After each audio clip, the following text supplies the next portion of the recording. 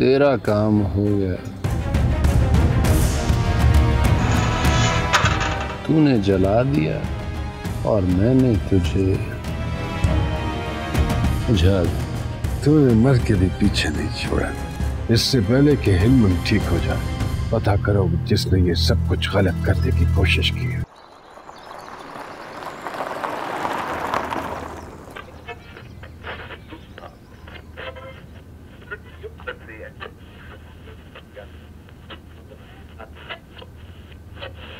मेरी मानो कादिर खान से मुआयना करा। उसकी चार पट्टियों से ना तुम्हें आराम आ जाएगा। बहुत पहुँचा हुआ डॉक्टर है।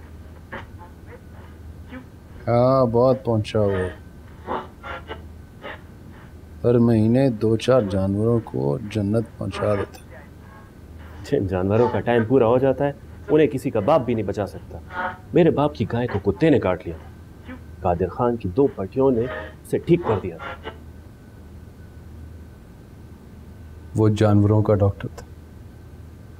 तो तुम कौन सा इंसान है खान? तुम भी तो शेर है शेर।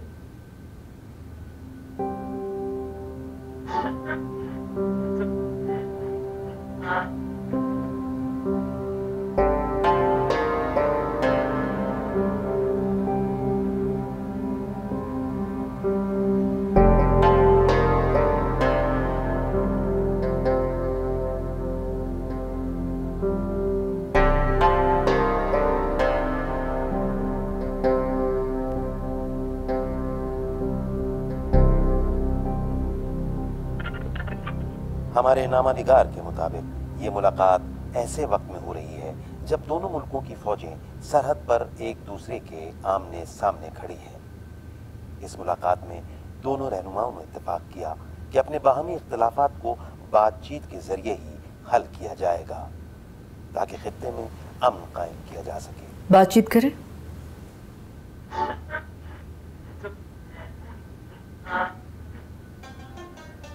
संद्रे सुनो।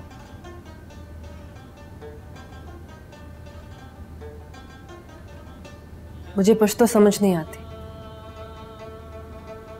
जब पठान और उसकी जबान नहीं समझती हो तो यहाँ क्यों खड़ी हो? बैठो मैं समझाता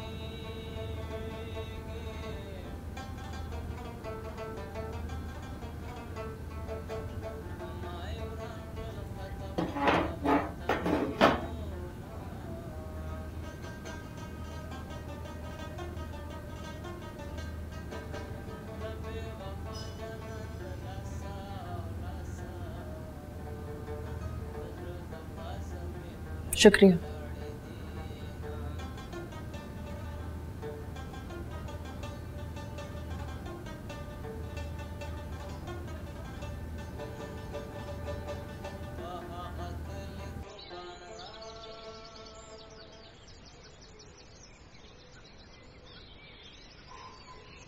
सफला। क्यों आई है? हमारे खान की तबीयत का पता करने क्या बातें कर रहे? खान संदरे सना रहे उसे। कौन सा संदरे सन सिफर के जमाने के लगा रखे। हमारे दादा परदादा। इस संतरे में एक दोस्त अपने दूसरे दोस्त से गिला कर रहा है कि तुमने मेरे साथ ठीक नहीं किया। मैं तुम्हें दोस्त समझता था और तुम मेरे दुश्मन से जा मिले मैं तुम्हारे पीछे इस यकीन के साथ अपने कदमों पर खड़ा था कि तुम्हारी तरफ़ आने वाले तीरों को अपनी पुश्त पर खा सकूँ। लेकिन तुमने मेरे दुश्मन से ही हाथ मिला लिया। उसकी मदद के तालिब हो गए। एक दोस्त को गिला करने का हक है लेकिन दूसरा भी अपनी सफ़ाई पेश करने का हक रखता है। आगे शायर पूछता है कि अगर यही करना था तो मुझे अपने राजों की दोजक के दरवाजे क्यों खोले? मैं तो समझ रहा था मैं तुम्हारा हमराज हूँ। पर तुमने तो सारी दुनिया को हमराज बना रखा है। जो राज मुझे बताए, वही जाके मेरे दुश्मन को क्यों बता दिए? मैंने किसी को कुछ नहीं बताया। हाजी साहब ने खुद ही अंदाज़ा लगा लिया कि मैं जिस तरह से तुम्हें मार्था के घर लेके आई हूँ, ज़रूर कोई ना कोई बात हुई होगी। फिर उन्होंने सब कुछ मुझसे उगलवा लिया। आखिर में शायर कहता है,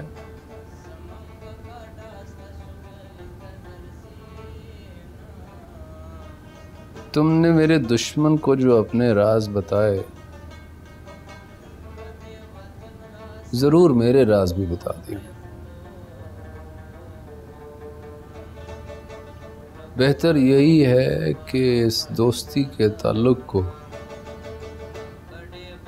हम यहीं पे ख़त्म कर दें। ताकि किसी को कोई उम्मीद ही ना रहे।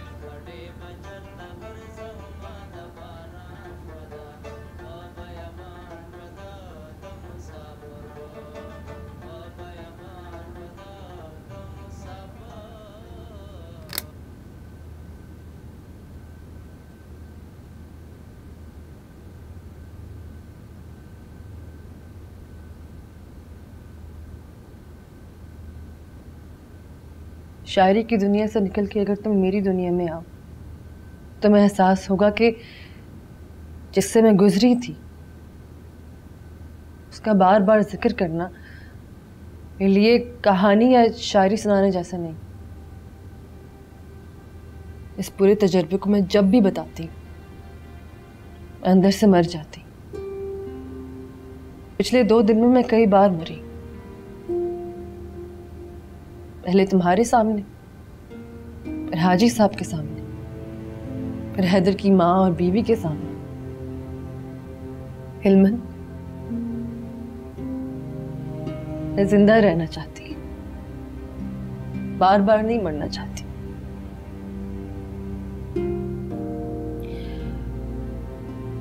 हाजी साहब को मैंने सब इसलिए बताया क्योंकि उन्होंने मेरे सर पे हाथ रख के मुझे बेटी का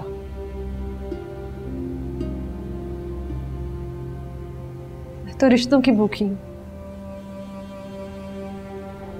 मेरा आगे पीछे कोई भी नहीं।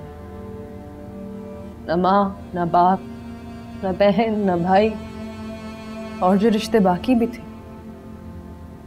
उन्होंने ही मेरा तोड़ा। जख्मी किए मुझे। जिस दिन तुमने मुझे अपनी चादर से ढांपा था, उस दिन मैंने दोबारा रिश्तों पर एतबार करना शुरू किया। जिस दिन हाजी साहब की आँखें मेरे सामने छलकी थी, मुझे लगा कि एक बाप अपनी बेटी से आँखें छुपा रहे लास्पीरान के लोगों ने मुझे एतमाद दिया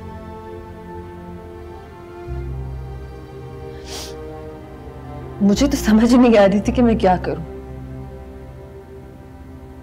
इसलिए जब हाजी साहब ने मुझसे पूछा तो मुझे मजबूरन बताना पड़ा। मुझे अंदाज़ा नहीं था कि वो अगले दिन हैदर के घर चले जाएँगे और उसको बर्बाद करके रख देंगे। क्यों? क्या हाजी ने उसे कत्ल कर दिया? नहीं। फिर क्या फ़ायदा हुआ? तुम तो हाजी की शान में ऐसे कसीदे पढ़ रही हो कि जैसे उसने तुम्हारा बदला ले लिया।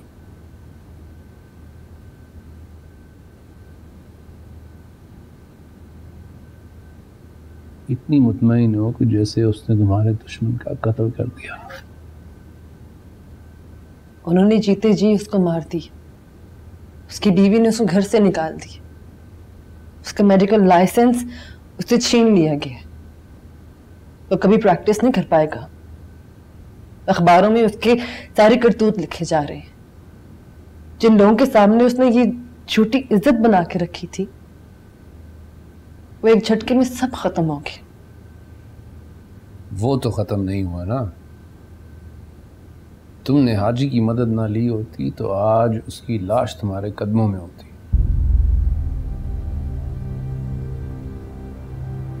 हर मसले का हल कत्ल नहीं होता है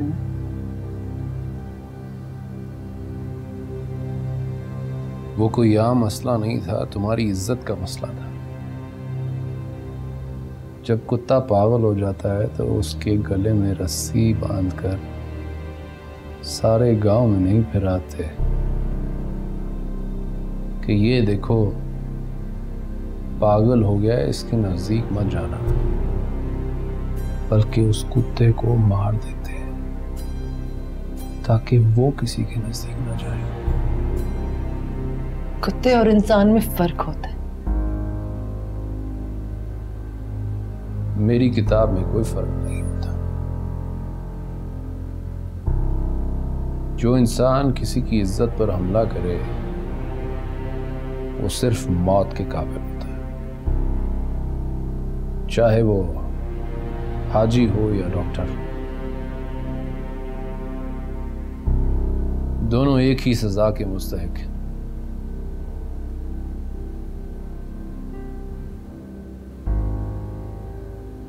तुमने भी तो गुलमीना की इज़्ज़त पे हक किया है ना?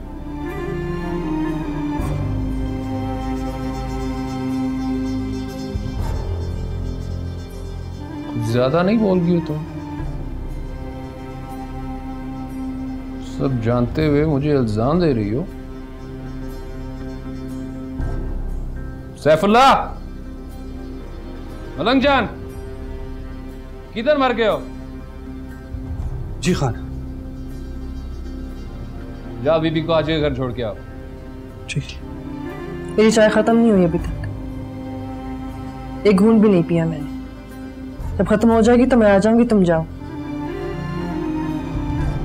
ठीक मैडम।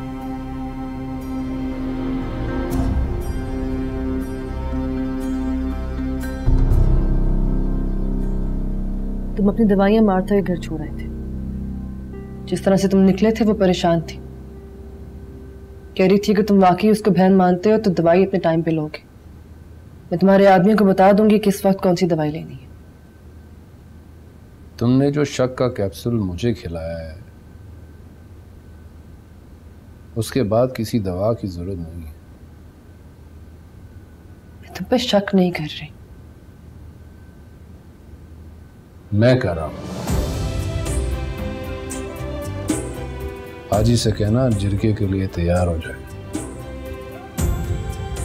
उसका आखिरी वक्त आ गया है।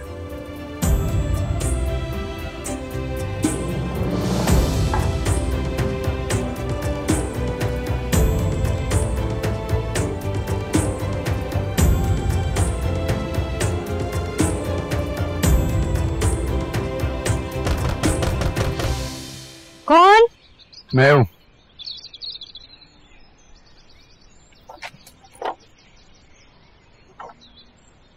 खाला घर है? नमाज़ पढ़ रही है। चलो मैं फिर आऊँगा। नहीं। मतलब खत्म कर लेगी थोड़ा इंतज़ार कर लो पाँच दस मिनट ही लगेंगे नमाज़ में।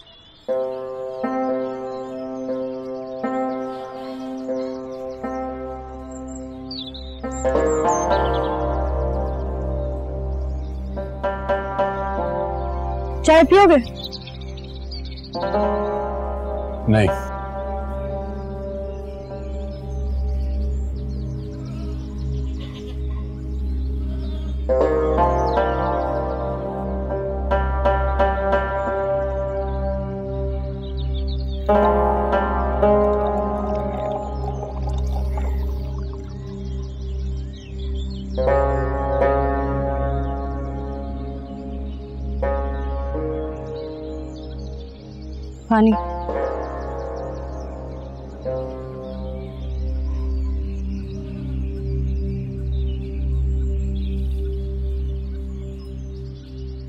आज दस्तक देकर आए हो? सब ठीक है? हाँ।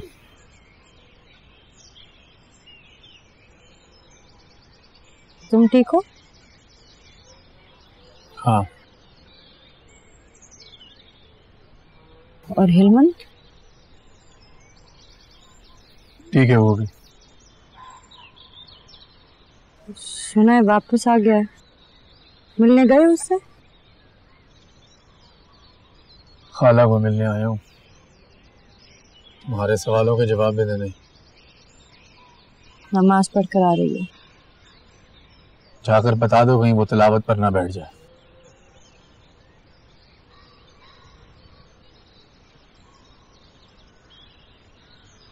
माँ घर पे नहीं है।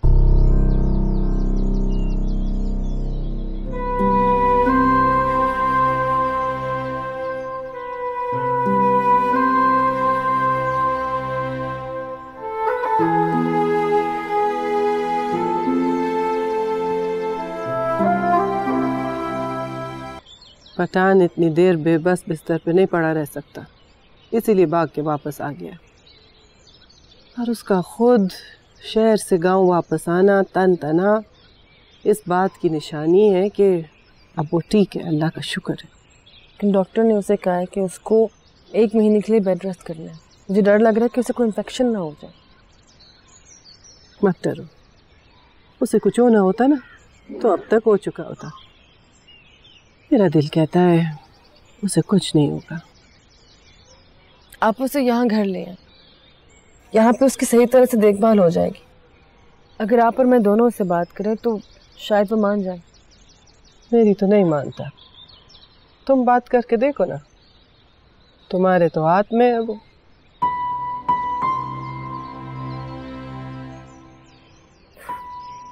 मेरे हाथ में होता तो मुझे बताए बगैर कभी ना आता। कहीं तुमसे भी किसी बात पे नाराज़ तो नहीं हो गया? लग तो ऐसा ही रहे किस बात पे?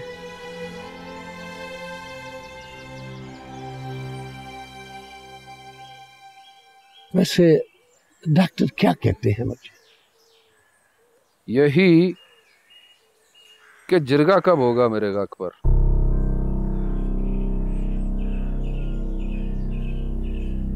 डॉक्टर कहते हैं जो ही जिरगा होगा मेरे अंदर बाहर के सारे जख्म भर जाएँगे. फ़िलहाल तुम बिस्तर पे बैठे हो बच्चा। जब तुम ठीक हो जाओगे तो जरगा भी बैठ जाएगा। तुम सब लोगों ने जिरगा करना है या कोई दंगल कराना है जिसके लिए मेरा ठीक होना ज़रूरी है? कुछ तो खुदा का खौफ करो हाजी। अल्लाह से डरो। हाजी मरजान से नहीं। हम अल्लाह ही से डरते हैं हिलमन इंसानों से नहीं। तो फिर मुझे बुला क्यों नहीं रहे आप सब? मैंने दिन की रोशनी में सबके सामने गा किया है। सब्ज अली की बार तो मशरान की फुर्तियाँ देखने वाली थी। अब मेरी बारी आई है तो सब अपने मुँह में धुआँ भर के बैठ गए। हम तुम्हारी इजाज़त के लिए आए हैं बच्चे। फ़िलहाल अपने दिमाग पर इतना ज़ोर मत डालो कि जख्म खुल जाए। मेरे जख्मों को छोड़ो। हाजी। पुराने खाते खोलो। जो मेरी सजा बनती है मुझे दो। हमने तुमको पहले भी कहा था कि जब असदुल्ला की घरवाली ने तुम पर कोई इल्ज़ाम नहीं रखा तो हम जरगा किस खुशी में बुलाए? वो तो चुप है। अगर वो हमको बताती तो हम तुमको ज़रूर बुलाते। हम्म। चलो। मेरे गक पर ना सही। जिसने मुझ पर हमला किया है उस पर बुलाओ। अगर तुम्हारा किसी पर दावा है तो उसका नाम लो। हम तुम्हें भी बुलाएँगे और उसको भी। बताओ किस पर दावा है? आप सब भी जानते हैं और मैं भी कि किसने किया है ये सब। खुदा गवाह है हम नहीं जानते। गाँव वाले जिसका नाम ले रहे हैं हम भी सुन रहे हैं। लेकिन सबका शक है यकीन किसी को भी नहीं है।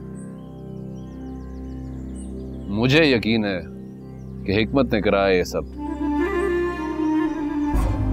क्या तुम्हारे पास कोई सबूत है? हाँ है। जिरगे में दूँगा। बुलाओ अगले जुम्मे जिरगा। वरना मैं अपना बदला खुद लेके जिरगे के सारे असूल बदल दूँगा।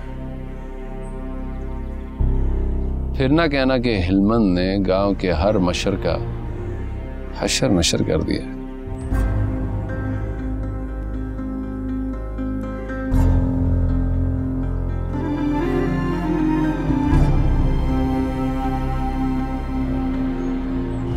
मैं जैसे ही बस से निकला तो पुलिस ने मुझे चारों तरफ़ से ऐसे घेर लिया, जैसे मैं पाउडर का कोई बहुत बड़ा स्मगलर हूँ। सबके पास क्लाशन उनका एक बड़ा अफसर है, और उसने मेरे मुँह पे काला कपड़ा डाल। अंधेरा गुप अंधेरा और फिर जब कपड़ा उतारा तो मैंने क्या देखा? कि मैं एक ऐसी जेल में हूँ, जिसकी दीवारें हमारे लेस्पेरा के पहाड़ों से ऊँची, हर तरफ़ बर्फ़ ही बर्फ़। ओ खुदा पापा! ओ माँ! सब्जली ये पाकिस्तानी जेल नहीं होगी फिर। तू जो नक्शा बता रहा है ना ये मुझे कोई रूस का इलाका लगता है। और यार तुम उसको कहानी सुनाने दो। किधर रूस और अफ़गानिस्तान पहुँच के? क्यों ले गए थे तुम्हें? मैं भी यही पूछता रहा कि मुझे क्यों लेकर आए हो? पर उन्होंने नहीं बता मुझे नंगे पैर बर्फ़ में कड़ा रखा और पूछते रहे क्यों आए हो? किस लिए आए हो? तुम बता देते कि अपने जख्मी खान से मिलने आए हो। अगर बता देता तो वो इलमंद के पास अस्पताल जाते उस पर पुलिस केस बन जाता। और आज मेरा यार हम लोगों के साथ ना होता। और इस गाँव को पुलिस ने घेर लिया होता। तो उन जालमों ने तुम्हें छोड़ा कैसे? छोड़ा नहीं। जेल तोड़ के भागा हूँ अल्लाह रसूल का वास्ता है साहब जी। मुझे जाने दो। मेरी माँ के लिए वो तो मर जाएगी। अल्लाह आपके बच्चों की ज़िंदगी करे। आपकी अम्मी का साया कहमत तक आपके सर पे कायम रहे। मुझे जाने दो। एक रात जब जेल की बिजली गई मैं बिजली की तेज़ी से तानेदार का पिस्तौल निकाल के उसके सर पर रख के बोला कि अगर तुम एक इंच भी ले तो यह गरम गरम गोली तुम्हारे पेजे को ठंडा कर देगी। सारा डर के ये पठान आदमी है इसका क्या भरोसा? अब अब जर्नल बनो कर्नल बनो। साहब जी मुझे जाने दो। खुदा का मुझे छोड़ दो। ओए बाहर निकालो इसको बाड़े को। मुफ़्त की रोटी तो रहा है बदबा निकालो इसे। शुक्रिया।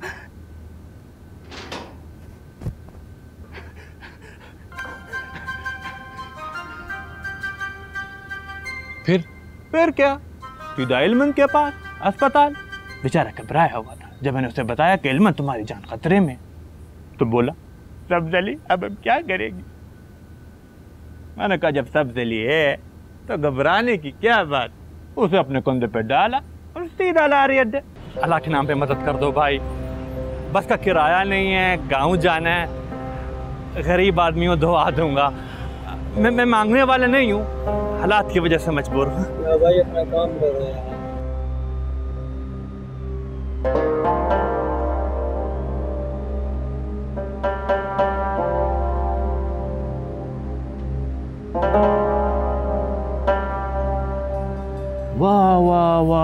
सब्जली तुमने जो यारी और वफादारी दिखाई है ना खुदा गवाह है कुत्ता भी इतना वफादार नहीं होता जितना तुम निकला है। बस यार कभी गरूर नहीं किया अपनी सलाहियतों पे।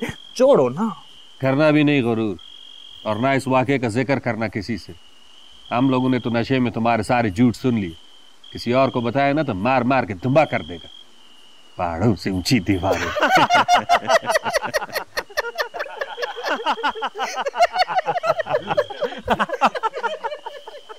कहते हैं कि जिसकी ये लकीर लंबी हो ना उसकी ज़िंदगी भी बहुत लंबी होती है।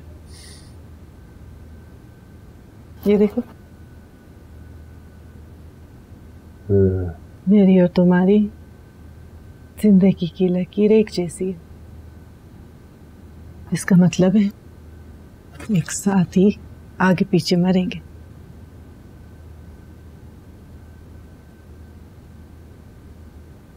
कब जाएँगे?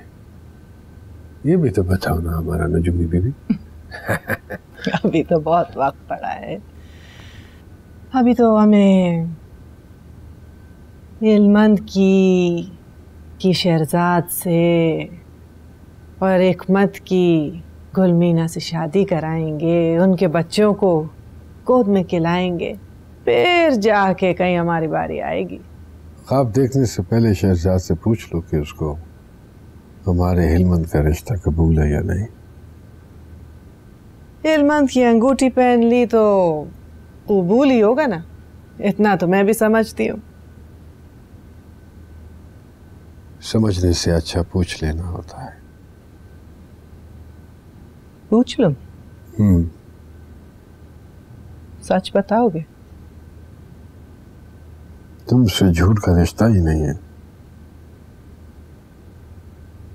तो फिर ये बताओ तुम्हारा हाथ अंगारे की तरह जल क्यों रहा है? क्या परेशानी है? नहीं ये तो बिल्कुल गर्म नहीं है। बिल्कुल ठीक बैठा हुआ तुम्हारे सामने। तुमको तुमसे ज़्यादा जानती हूँ मैं मर मरजान तुम्हारी रग रग से वाकिफ हूँ। तुम्हारे देखते तलवों और जलते हाथों की गवाह हूँ मैं। आप बता क्यों परेशान है? हिलमंद हिकमत के लिए जिरगा बुला रहा है अगले जुमे। कहते हैं कि खुदा ने इस कायनात को जुमे के दिन बनाया था और क़यामत के लिए भी जुमे का दिन ही कायम किया है। पर पर एक मत जब सबके सामने कुरान जामिन देगा तो फिर तो ये कयामत टल जाएगी ना? नहीं टलेगी। हिलमत हिकमत के लिए नहीं, मेरे लिए पूरे गाँव को इकट्ठा करा। है वो नसरुल्ला का मुर्दा निकालना चाहता है, लाशों को गवाह बनाना चाहता है। लाशों की गवाही आज से पहले किसी ने मानी है जो अब वो मनवा लेगा? अगर उसने तुम पे कोई भी इल्ज़ाम लगाया ना तो बड़े जिरगे में उसको जलील करूँगी। अभी जाती हूँ मैं उसके पास। पहले मुझे बात करने दो। कोशिश करने दो। फिर मैं तुमको बताऊँगा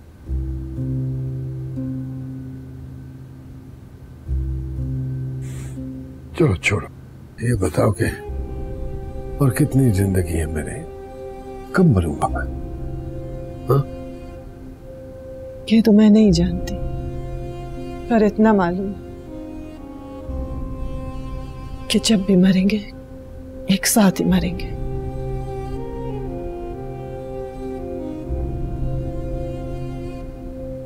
यही लिखा है हमारी लकीरों में मरना तो सबको ही है। बस दुआ करो कि जिल्लत की नहीं, इज़्ज़त की मौत है पता रह जाए। तुम्हें बेपर्द नहीं होने दूँगी मर जान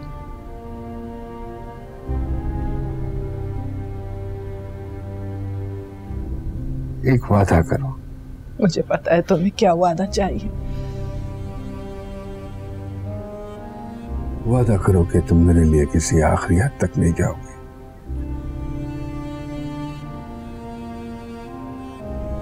मेरे बाद बच्चों के सर पे किसी एक को तो होना चाहिए ना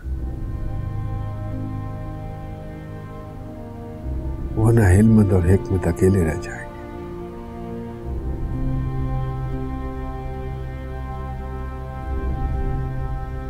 मेरे बगैर तो बच्चे ज़िंदा रह लेंगे। लेकिन तुम्हारे बगैर बड़ा मुश्किल हो जाएगा। वो बर्दाश्त नहीं कर सकेंगे बच्चों की खातिर। तुम मेरी ज़िंदगी में पहले आए थे, मर जाओ। बच्चे तो बाद में आए ना। मैं तुमसे कोई वादा नहीं कर सकती।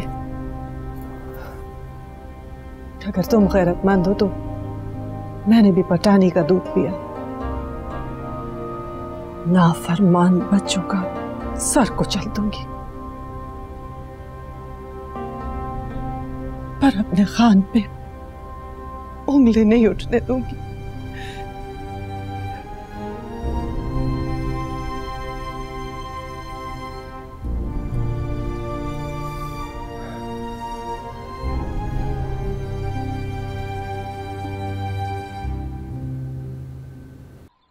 खेल अपने आखिरी और इंतहाई दिलचस्प मरहले में पहुँच गया है।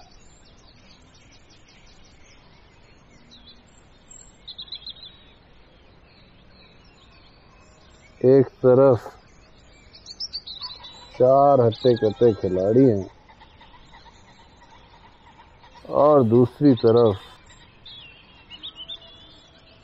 अकेला और जख्मी हेलमंद, जो अपनी छड़ी के सहारे चारे चल रहा है।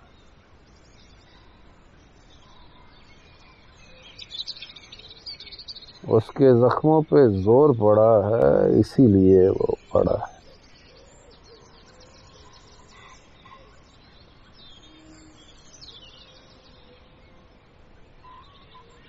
अब की बार, या तो तुम नहीं, या हम नहीं।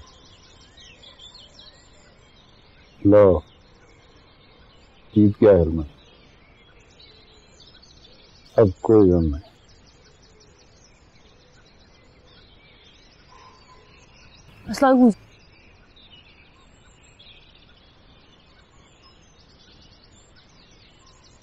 तुम क्या कर रही हो यार? तुम्हारा खेल देख रही थी। समझ में आ रही थी? नहीं। लेकिन देखना अच्छा लग रहा था।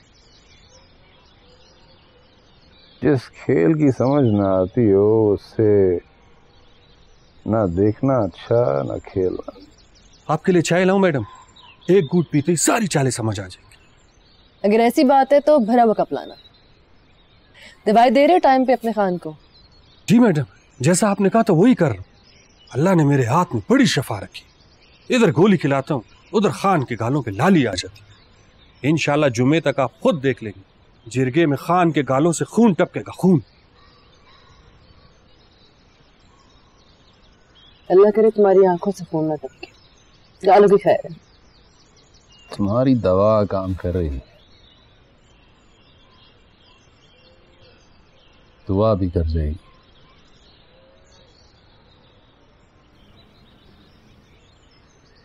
मेरी आँखों से खून के जितने आँसू टपकने थे टपक चुके। अब हाजी की बारी। है वो रोएगा।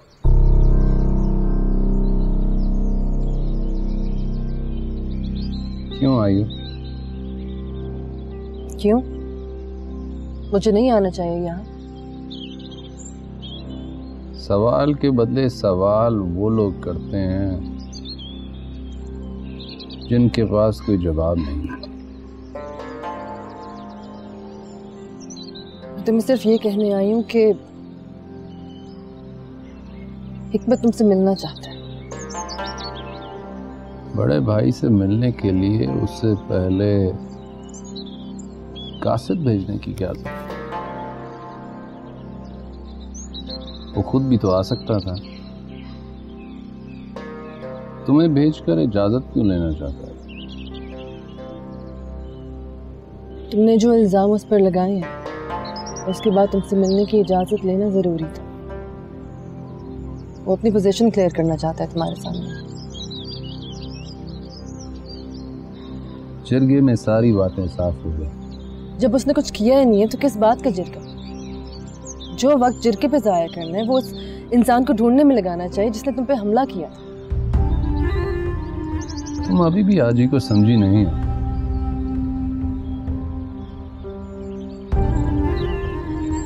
देखो किस तरह उसने एक एहसान करके तुम्हें मेरे खिलाफ इस्तेमाल किया है।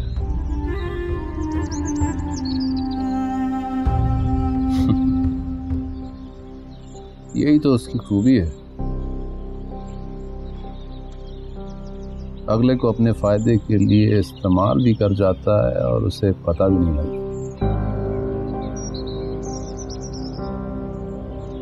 देखा ना भेज दिया उसने तुम्हें मेरे पास। मुझे किसी ने नहीं भेजा। मैं यहाँ खुद आई। मुझे जैसे ही मालूम हुआ कि तुम हिकमत के लिए जिरगा कर रहे हो मैंने सोचा खुद ही आके तुमसे बात करती हूँ कि उसने कुछ नहीं किया। मुझे मालूम है कि एकमत ने कुछ नहीं किया। और तुम्हें भी ये मालूम है कि हाजी ने मेरे बाप के साथ क्या किया था। तुम सब जानते हो भी हाजी का साथ देना चाहती हो जिसने मेरे बाप का कत्ल किया था। मुझे यतीम किया था। मेरी मासूम माँ से धोखे से शादी की थी उसने। तो इसके लिए जिरगे में जाने की क्या ज़रूरत है? घर के मसले घर पे भी सुलझाए जा सकते हैं। गंदे कपड़े गले में धोने की क्या ज़रूरत है? तुम भी तो डॉक्टर के साथ घर का गंद घर में धो सकती थी।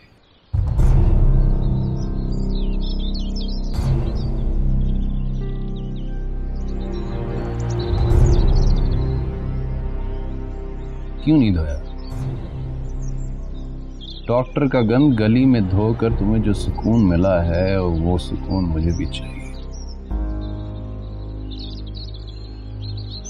ये खून की नहीं, सुकून की लड़ाई है।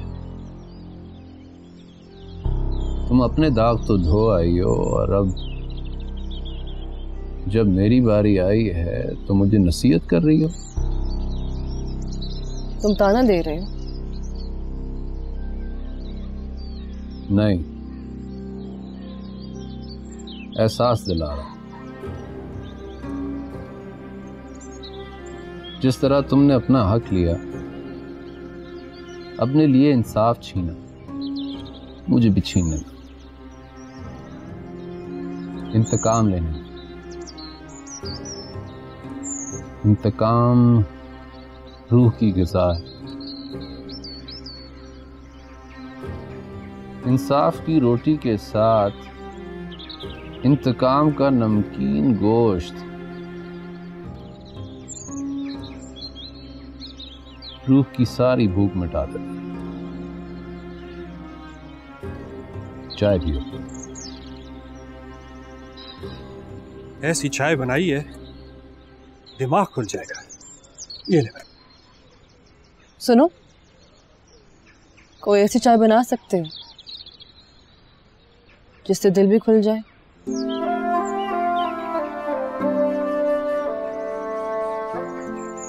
ताना दे रही हो? नहीं। दुआ कर रही